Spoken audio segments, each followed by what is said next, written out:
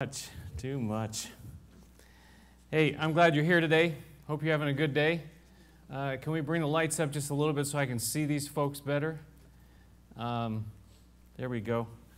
Uh, we talked last week, and if you'll open your Bibles with me to 2 Timothy chapter 3 today. 2 Timothy chapter 3, if you want to open up your Bibles there. We talked uh, last week about the value of arguing, and uh, there's a question mark on that, and I'm talking about arguing, you know, fighting kind of arguing, not just uh, the reasoning kind of arguing, where we have these heated, uh, angry exchanges with each other. And, and uh, I was wondering about this. You know, we, we, we, we have these kinds of things about all different kinds of subjects, though. We have them about important subjects, and we have them about not so important subjects, but does it really matter? I don't think so. Well, you can argue with me about it right now if you want to. But I got the microphone and you don't. So I'm probably going to win. But if you remember uh, the passage we looked at, it says that the Lord's servant must not quarrel. And that really applies to all of us. Instead, be kind, to teach without keeping score, to gently instruct, and to pray to pray. And then also remember that there's a spiritual battle that's taking place. We don't wrestle against flesh and blood, but against principalities and powers. There's a spiritual battle that's taking place, and, and a lot of times we get kind of beat up by that when we're not aware of it. But the last thing is that we, we, we all, you know, we fall to this sometimes, and these things happen, and we need to learn to be able to forgive. We've got to be able to forgive. There's so much power in forgiveness. And, and, and we've been hurt and we've, we've said things that, that uh, we shouldn't say. We need to apologize. They've said things that they, you know, uh, probably shouldn't have said. We need to forgive one another, apologize, humble ourselves before one another. It really is, it's really the only way. Because if we just dig our feet in, guess what happens? Nothing. We, we end up being, uh, I wanted to use a word, a word called recalcitrant, but I'm not sure what it means, so uh, I, I, won't use it. But we, we end up just stubbornly holding on to our position and, and we get nowhere, right? And that's really not what I think the Lord wants for us as believers. That's really what I wanted to say. Now, today, uh, I, we're going to move into chapter 3 really this idea about are we living in the last days? So let's look at chapter 3 and let's read verses 1 through 5. But mark this, he says, 2 uh, Timothy chapter 3 verse 1, there will be terrible times in the last days. And people will be lovers of themselves, lovers of money, boastful, proud, abusive, disobedient to their parents, ungrateful, unholy, without love, unforgiving, slanderous, without self control, brutal, not lovers of the good, treacherous, rash, conceited, lovers of pleasure rather than lovers of God. Boy, that's a list, huh? In verse 5, having a form of godliness, but denying its power, have nothing to do with them. Let's pray. Father in heaven, we pray that you would apply your word to our hearts, Lord, each one of us. As we look at this passage, you would speak by your Spirit, by your word to those areas in our own lives that we need the the searchlight, the spotlight upon. Father, speak to us today by your word, we pray. In Jesus' name. So that's the big question now. Are we living in the last days? Yeah, it's a big kind of question. When are the last days? That's another, that's another facet to this question. Are we living in the last days? When are the last days? Jim knows the answers to this one. He can always depend on Jim for this one, right? So, are we? What do you think? Yes. You think we are? I think you're right. You know, the last days, and we're going to talk about this a little bit. When are the last days? He, he talks uh, about this. He, he says that it, they will be terrible. And this word means difficult, it means dangerous, it means furious, which is kind of interesting. And then, and then he goes on to talk about people. So it's not the days themselves, it's what is going on in the lives of people during these last days, during this time. The word last really, it, it, it, uh, it means, uh, well, it's, it's a Greek word that, have you ever heard of the term eschatology? It, it, means the study of last things. And this word for last here means, is a, is a form of that word where we get the word eschatology. And so he's saying we're, we're you know, there will be terrible times in these last days, in the eschat days, these last times. So, you know, looking at the scripture and studying God's word, we have to say, well, when are the last days? And we, we don't want to, we don't, we can't go just by how we feel. We, we want to go by what the Bible says, right? That's our guide. That's our foundation.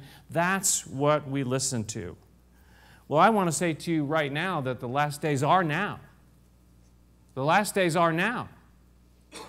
But stay with me. Stay with me. It's not some future time, it's right now, it's, it's today. But they began at the time of Jesus. Say, wait a minute, I thought you said the last days are now. But again, biblically speaking, and I've got some verses to show you to to back this up. They actually began, the last days actually began at the time of Jesus, technically. Stay with me. Stay with me. Look what it says here in Hebrews chapter 1. In the past, God spoke to our forefathers through the prophets at many times and in various ways, which we're talking about what? The Old Testament prophets, right? The Old Testament period. But in these last days, same exact words as we see here in 2 Timothy chapter 3, in these last days he has spoken to us how? By his Son, whom he appointed heir of all things and through whom he made the universe. These last days he began to speak. He, Jesus came onto the scene. We all know, you know, what that meant. He, he was born in Bethlehem. He, he lived and he, he went to the cross for you and I in Jerusalem outside the city gates there. He paid the ultimate price. He was buried. He rose from the dead, ushering in a brand new era, you see. And so he's saying here, the writer to the Hebrews is saying here, it's now. It was then. It was then when the writer of the Hebrews uh, wrote those words. What about Peter? What did he say? He, that is Jesus, was chosen before the creation of the world, but was revealed in when? These last times, you see. So, technically speaking, if you're going to look at the, the words, technically speaking, the last times began with this unveiling, the revealing, and the ministry of Jesus. Now let that sink in for a second. So that kind of that's kind of a long time, isn't it? Kind of a long time ago. So so the last days, the last times began with the ministry of Jesus, but will continue until he returns. Up to the very return of Christ. So, what does that say We'll talk about the times we're in now in, in just a minute, so be patient with me. What does that say about believers during, since the time of Jesus? If we're living in the last days, what does that say about what we should be doing? Right? That's really, for me, that's what uh, I'm, I'm thinking about. This is what we should be doing looking and watching and waiting for Him, living for Him looking for his return. You see, the early church, throughout the history of the church, even from those days, when we read these words that were written to the church then, of course, written to us today as well, but written to the church then, they were looking, they were anxious for the return of Jesus. The early church, they wanted him to come right then, and, and I don't blame them. And, and, and I, you know, the, the, what Jesus said to them, I'm going to return, I'm going to come back. So, throughout the history of the church, the believers have been looking for it, and it, it's it, those that had this urgency that, that they were looking and watching, it affected the way that they lived. It affected the way that they lived, looking for the return of Jesus. We sing about it, don't we, in, in uh, that song in Titus? Denying ungodliness and worldly lust, we should live soberly, righteously, and godly in this present world looking for that blessed hope and the glorious appearing of the great God and our Savior Jesus Christ. Right? We sing that. That we should live a certain way because we're looking for that blessed hope that He could come at any moment. He could come at any moment. And, and I believe, I believe that. I, I believe the Bible has is teaching us that, that He could come at any moment. We don't know the exact day or the hour, and we need to be looking in for that blessed hope, the returning of our Savior Jesus. See, uh, when, we, when we're not concerned about it, and we don't really care, it, it, you know, our lives, uh, you know, they, they kind of have this kind of blah attitude. You say, okay, Okay, I, I hear what you're saying. I'm, I'm not sure I'm buying it yet, but we'll talk again about these particular days. But, but if, if it began, these last days began with uh, the ministry of Jesus, isn't it kind of taken a long time? Isn't it? Isn't it? Yes. What did, what did Peter have to say? If you'll turn with me to 2 Peter chapter 3. Again, we read in 1 Peter about him saying that these last times, but look at, at 2 Peter chapter 3 because, because he had the same idea, the same question. And as Peter is talking in this chapter about some of the very end time uh, things that would happen, look at chapter 3, verse 3.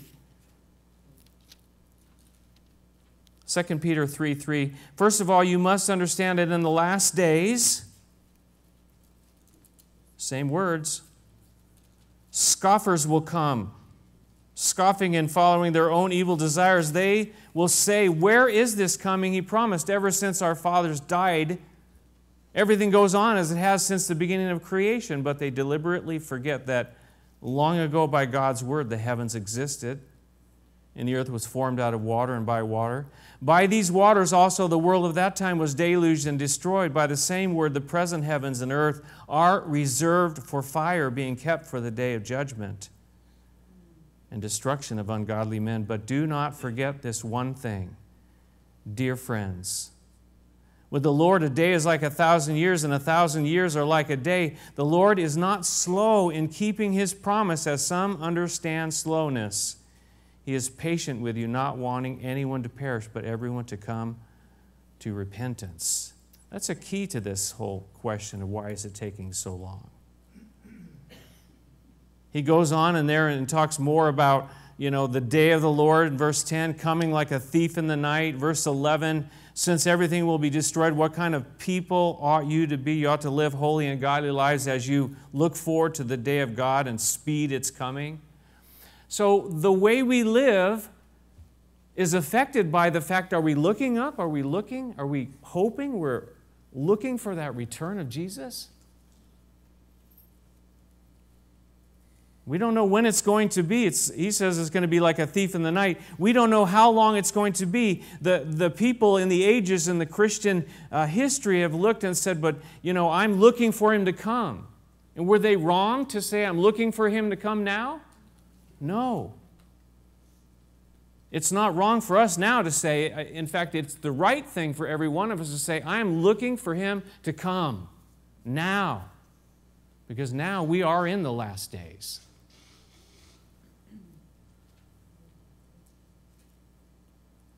Now, thinking about this in terms of the days that we live in right now, we see this list of 18 things here back in 2 uh, Timothy, right? And, and it's, it's kind of a crazy list, and, and just to read them all was kind of crazy.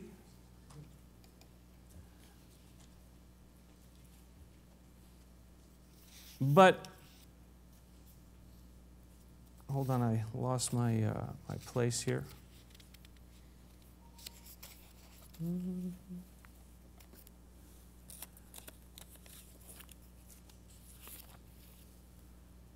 Oh. There it is. This, this idea of what's going on here, this continual decay, the continual decay of man's spiritual nature. As people neglect the spiritual dimension of life, they turn in upon themselves to find meaning. We kind of see that happening today, don't we? So the, so the question is we've had the last days coming from the time of Jesus up till now, but looking at the times that we live in now, right? Looking at this list in, in 2 Timothy chapter 3, trying to discern the times, trying to uh, determine are we in the last days? Well, first of all, we are in the last days. But, but, obviously, just before he returns, there's going to be the last of the last days. So the question that we can ask are we in the last of the last days? Are we in like that final hour, that time right before he's going to return? I don't know that we can know for sure, but it, but, but, but as we look at the times that we're living in now, Warren Wiersbe says it's not just better news coverage. He says it appears that evil is deeper and of greater intensity and that is being accepted and promoted by society in a bolder way. I would agree with that. However, I, I was listening to WRV uh, the other day, and they also talked about how how uh, morally corrupt the Roman Empire was as well. And so many of the things that we see in our country today, the Roman Empire, you know, that was all like part and parcel of, of what they were all into. And Christianity came along and changed a lot of those things, helped to change a lot of those things. So some of these things, you say they're so bad today, but, but haven't they been bad in the last, during the last two, 2,000 years? They have been.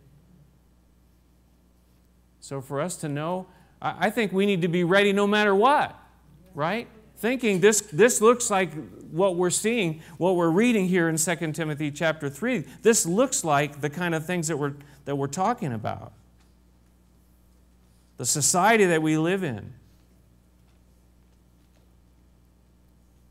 In one uh, commentary, they said that it would be worse right before the end. The period just prior to the return of Christ, rebellion against God will reach new heights in its frenzy. All restraint will be loosed.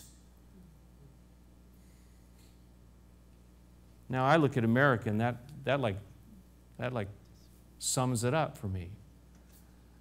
But when I look around the world, though, it's not necessarily like every country is not like America in the depths of depravity that we are jumping into.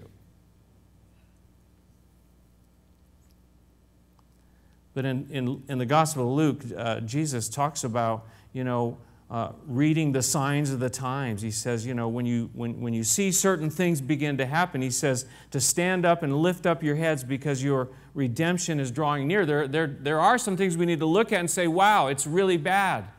It could very well be that the return is like imminent. And I think we have some justification for saying that for us today. Now, what if it doesn't happen for another 50 years or 10 years or 20 years or 100 years even? Pastor Chuck was, you know, he believed that the Lord would come for him during his lifetime, but he didn't. But is that okay? Did that, did that negatively affect the way he lived his life? No, I think it positively affected the way of his, he lived his life because he was looking and, and I want to be ready for you. I want to be ready when you come for me. I want to be living so that I'm not going to be surprised. I'm, I'm waiting, I'm looking, I'm watching. See, it affects the way we live. This whole, this whole idea that we are in the last days, the last days are now. Looking again at this uh, list of, of 18, and I, I think, yeah, here I am now. This list of 18, we see back to uh, 2 uh, Timothy chapter 3. It, it's crazy stuff when you look at it all, right? It's kind of intense. but this decay that's happening but but look at we're not going to look at every one of these because you know we would just get downright depressed i think if we looked at every one of these in detail today but look at number one there people would be lovers of themselves many of the writers that i read they, they talked about this self-love john calvin said it's the source from which all the others that follow spring kind of begins with this loving of ourselves, focusing in on ourselves. Uh, Barclay said it's a, he said a life centered in self. And love of self is the basic sin from which all others flow. You see, we become like the center of the universe. This is the, you know, the, the thing about humanism. Humans are the center of the universe, and not just humans, but we. I become the center. I am the one. I love myself so much, is the way we think. We've really been taught that, haven't we? You really need to focus on yourself. You really need to love yourself. We have popular songs that you know brought all this out.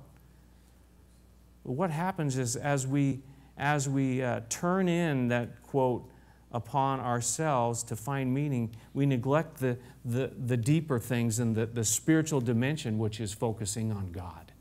And what it actually is, is idolatry. Because if the, the definition of idolatry is anything that takes the place of God in our hearts. And so as we put ourselves there, that's what we're worshiping. That's idolatry. God is the only one that deserves our worship. Someone pointed out this, the kind of the, the progression in our society, anyways, uh, in terms of the magazines that come out, right? First there was Life magazine, right? And then there was People magazine. And then there was Us magazine. And then there was Self magazine, right? It's just the progression. And, and, and uh, this, this guy said, well, the next thing is going to be Me magazine. But, but we're already there. We don't need the magazine. That's kind of where we are. It's all about, right. It's all about me. Lovers of themselves. I mean, it goes on. Again, we're not going to look at all these, but, but, but lovers of money, boastful, proud, abusive, disobedient to parents, this is all real stuff that we see in our society. Now, we don't know a lot about what happens in other societies, so let's just think about ourselves, and that's all we have to go by. But these are what we see. We look around ungrateful, unholy, without love, unforgiving, slanderous, without self control, brutal, not lovers of the good, treacherous, rash, rash, conceited, lovers of pleasure rather than lovers of God. It's a total selfishness, isn't it? It's because we're wrapped up in ourselves, wrapped up in me. We call evil good and, and we call good evil. But you know, before we move on to the last verse I want to look at today, I want to say, I, I think reading these verses, I think you and I, we need to check our own hearts. You know? He says the world's going to be like that. People, and we, it's easy for us to say, well, I'm a Christian. It's those people out there that are not. You know, the unbelieving world, the pagans. But I think we need to apply these things and go through this list for ourselves. Am I? Have I been caught up in, in this? Am I, you know, you know, just enamored with myself? Am I, you know, enamored with money? Am I boastful, proud, abusive? Apply these things to ourselves. It's not just them over there.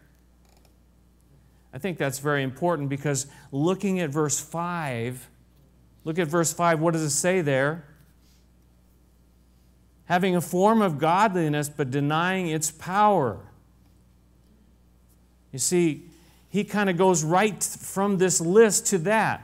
All these things that he's just mentioned, all those above things, and, there, and we, we, I think we would all agree that they don't, it's not a pretty picture. It doesn't look good, right? But he says, after all those things, having a form of godliness. He kind of adds that to the list. Having a form, an outward form of godliness, but denying the power. In other words, this idea of professing to believe,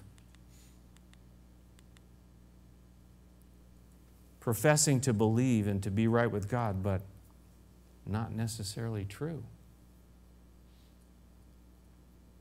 Having a form of godliness. You know, I read this about America. This came out July 18th, just, you know, weeks ago. ABC News did a survey, or they're reporting on a survey, a poll. And he said, uh, Ask Americans their religion, and you'll get an earful. 50 individual answers in an ABC News BeliefNet poll, ranging from agnostics to Zen Buddhists. The vast majority, though, have something in common. What is it? Jesus Christ. 83% of Americans identify themselves as Christians. 83% identify themselves as Christians. I'm sorry, but I don't see it. That's like the vast, that's a super majority, right? if 83% were like we're reading here, you know, not just the form of godliness, but the power of God working in their lives, we would see something different in our country, I'm afraid to say.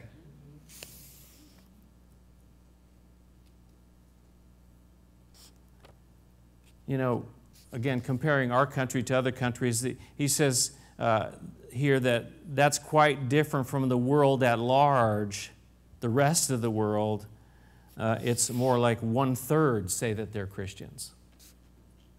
So we're like, we're like saying we're, you know, we're 83%. We're all, this is a big Christian nation and everything, but you know what? I'm not seeing it.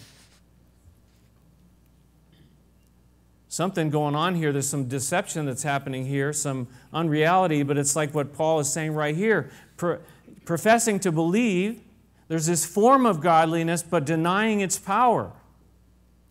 There's this religion without reality. We, we make this profession, one writer says, a profession of Christianity, but our actions speak louder than our words. We're living a lie. There's no evidence of the power of God in our lives.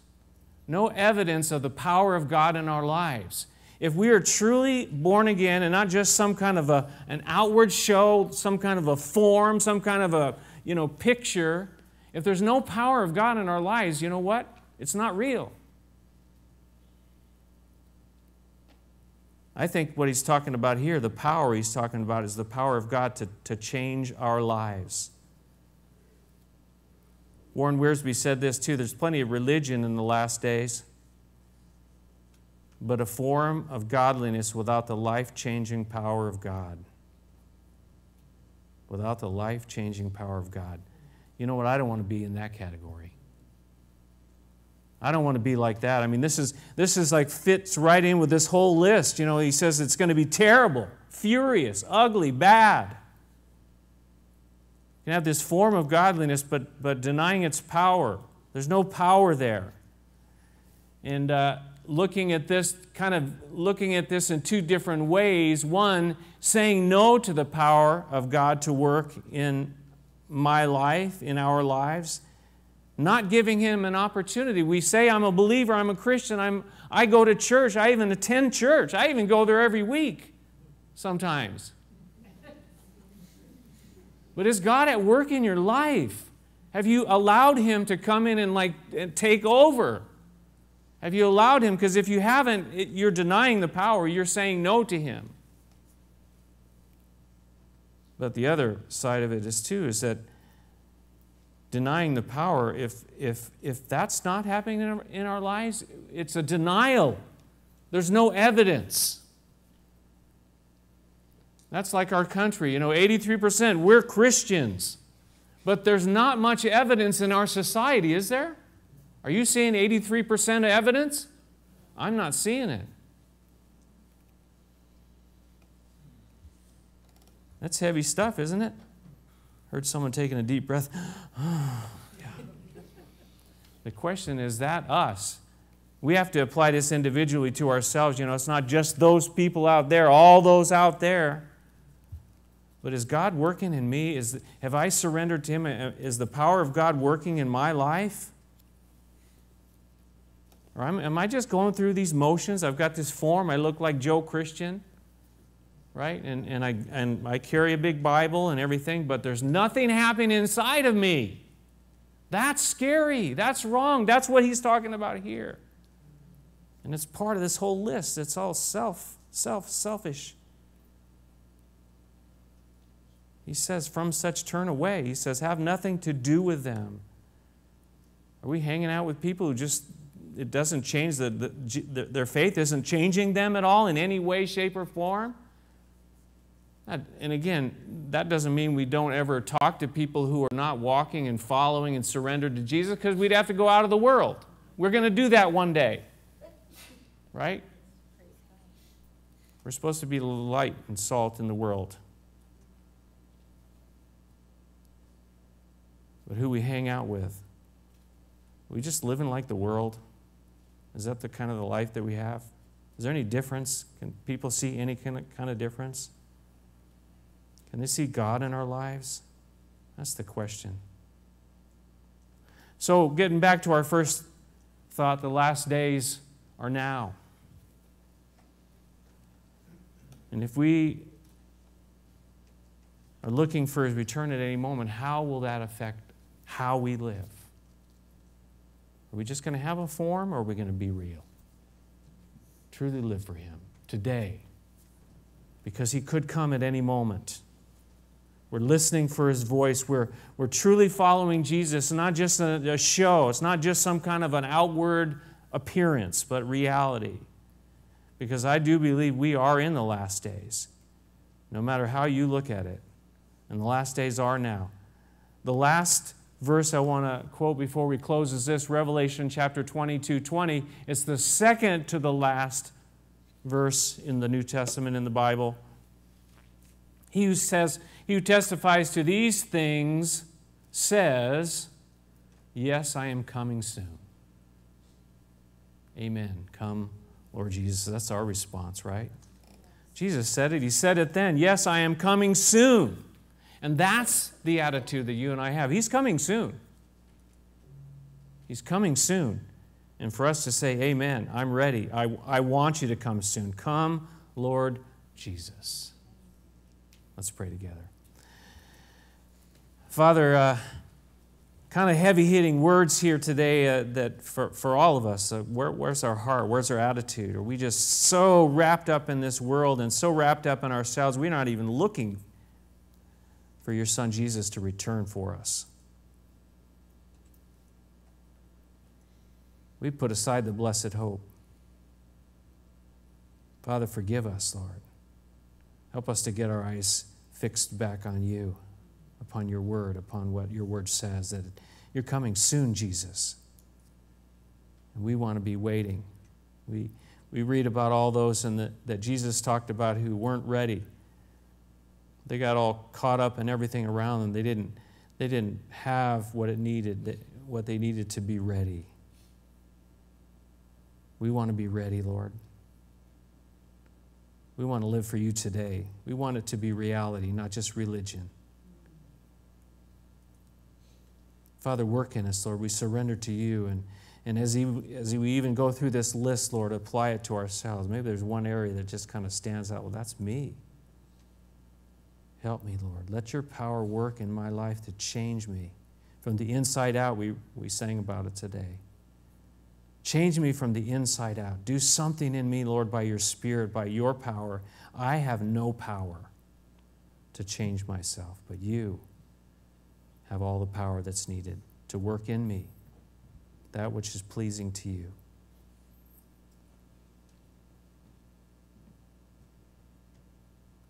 Lord, I also pray this morning for any here as we want to give an opportunity, Lord, to any that might need to surrender their lives and be right with you. To be ready for heaven, to, to know that the, the blood of Jesus Christ covers our sin, that we come to the cross and we believe that Jesus died for me, that he was buried, that he rose from the dead for me. And I receive that, and I believe that. Maybe that's you this morning. Uh, I, I want to give you an opportunity right now to pray and, and simply ask Him in and say, Dear Jesus, come into my life. Forgive me. I'm, I'm a sinner. I'm a selfish sinner, and I need, I need to be saved by you, the Savior of the world. Save me today. Work in me today, Lord. I want to live for you today. I give my life to you today. In Jesus' name we pray. Amen. Let's all stand and sing together, shall we?